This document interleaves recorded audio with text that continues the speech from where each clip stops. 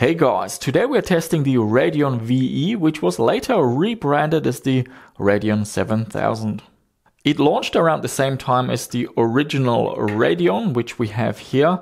This card was later rebranded as the Radeon 7200. The chip on this card is the R100, and on our Radeon 7000, it is the RV100, V very likely for value. There are different variants in terms of clock speed, but in general, the Radeon 7000 is slower than the 7200. We only have a single pixel pipeline, but otherwise it's quite nice. We have a universal AGP interface, so this will work on a slot 1 machine as well as a modern Athlon 64. We have VGA, DVI, and also S-Video TV outputs. And this is also the first Radeon card that can drive uh, dual monitors. A feature I haven't tried. I only use the DVI output, but yeah, if that's something you want to test out under Windows 98, give this card a go. The card I have has the core and the memory running at 149 megahertz with 32 gigabytes of VRAM connected with a 64-bit memory interface. Our test system consists of a Gigabyte socket 754 AMD mainboard. We have an Athlon 64 3000 plus running at 2 GHz with 512 kilobytes of level 2 cache. 256 megabytes of DDR memory running at 200 MHz a 4 terabyte Western Digital 3.5 inch SATA mechanical hard drive together with a SATA to ID adapter. And I went in the BIOS and configured the CHS parameters manually for a capacity of 8.423 gigabytes. And for sound, we have a Sound Blaster Live. This is the CT4830. I'm also testing a different open source video editor and all the footage is integer scaled, best to watch it on a large TV at 4K. In terms of software, we have Windows 98 SE, the VIA 4.55 chipset drivers, ATI's 6.2 graphics card drivers. For the sound card, we're using the Audigy 2 ZS drivers. They work really well with the Sound Blaster Live. And finally, DirectX 7. Let's start our testing. In 3D Mark 99 Max, we're getting 8,334 3D marks and in 3D Mark 2000, 3345.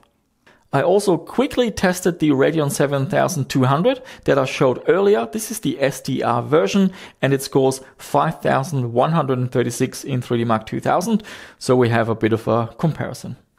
Let's check out resolution scaling. This is Incoming with 32-bit colors and even at 1024 by 768, we're getting over 60 FPS. The Radeon cards are known for having excellent 32-bit color performance, and we can see it here. Dropping down the color depth to 16 bits, we're not getting too much of a performance boost. So the bottom line is if you're using a Radeon card under Windows 98, just stick with 32-bit colors. You're not gonna get a huge performance boost with lower colors.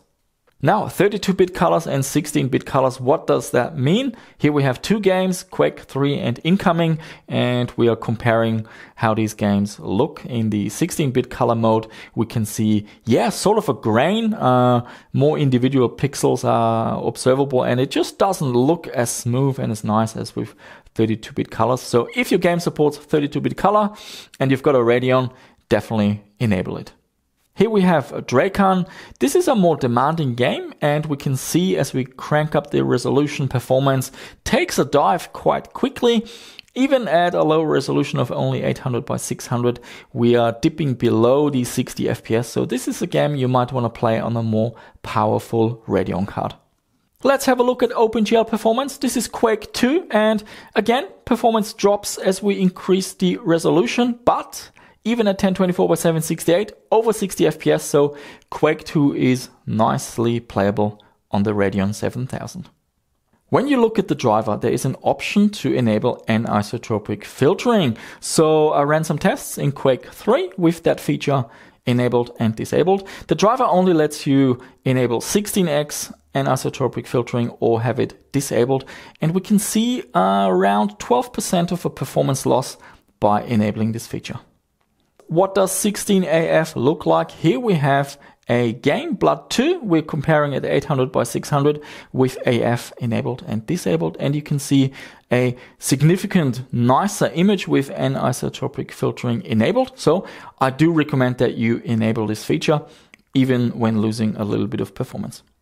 However, on these early Radeon cards, the implementation of anisotropic filtering is not perfect. It is angle dependent, and we can see this here in Return to Castle Wolfenstein. When we lean to the sides, we can see that the filtering, yeah, is highly angle dependent and doesn't filter in such situations. But in most games, you will still get a much better image. The driver also has a setting for anti-aliasing. We've got two images here. I'm going to toggle back and forth. Yes, with 4x AA, it does look nicer, less jaggies, but huge performance impact. Instead of getting silky smooth locked 30 FPS, it's dropping to around 20 FPS. This is in Tomb Raider 2, running at 800 by 600. The ATI Radeon cards also have some issues with legacy compatibility. For example, 8-bit paletted textures. They're not supported. We can see the message here in Final Fantasy VII. And the card also has issues with fog. Here we are in Thief 2. This is a level. There is fog displayed throughout the entire level, but it doesn't show up on the Radeon. And now let's have a look at some gameplay. GL Quake running at 800 by 600 with 32-bit colors and yeah, silky smooth. We're hitting the uh, engine cap of around 70 FPS, so this game runs perfectly fine on this machine. Next up is Blood 2. This is rendered at 16-bit colors. It's a limitation of the engine. And for the most part, it runs fairly smooth, but we are getting dips below 60 FPS. Uh, this game also runs at 800 by 600. Very nice is the sound. Uh, we have EAX support, so make sure you go into the options and enable that. This game sounds really nice. This is Tomb Raider 2.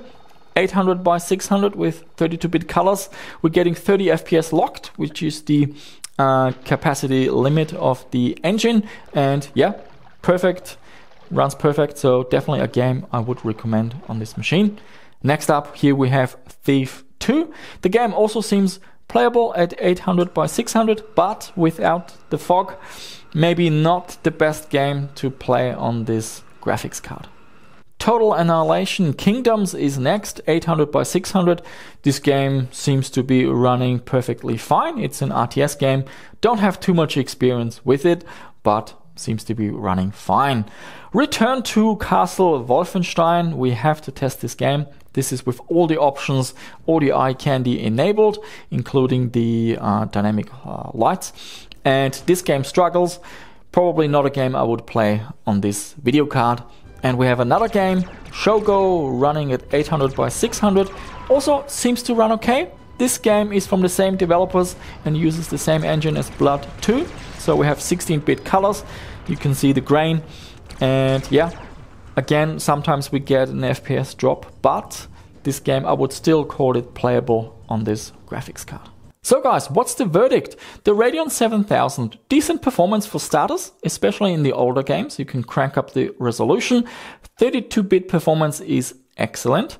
Drivers are also pretty good. The ATI Radeon drivers, you can just go with the latest drivers, unlike with the NVIDIA cards where you need to use older drivers for maximum performance. Bit unfortunate with the 8-bit palletized textures and the uh, fog support. So some games are not recommended to play on the Radeon. And when you're testing newer games like Return to Castle Wolfenstein, you will uh, not get ideal performance. And in Blood 2 and Shogo, we get some FPS dips. So it does run out of steam fairly quickly, but if you get this card for a good price, definitely add it to your collection. Um, it is compatible with old motherboards, slot one, but also uh, newer boards with AGP uh, 8X interface. So that is nice. It's a nice hybrid card. And yeah, I really enjoyed creating this video. Do let me know what do you think of this card, the Radeon 7000 and previously called the Radeon VE. And if you have a 4K TV with a with a built-in uh, smart uh, TV YouTube app, let me know if you see a difference uh, in this video with the integer scaling. I'm very interested to hear what you think.